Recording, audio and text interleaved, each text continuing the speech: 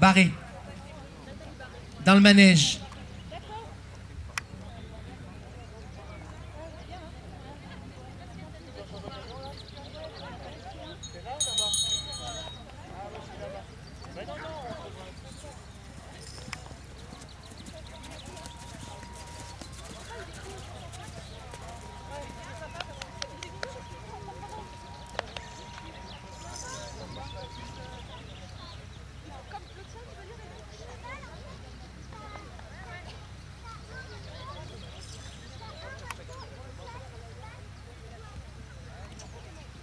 Le numéro 5 a pris le départ, Vito Daubier.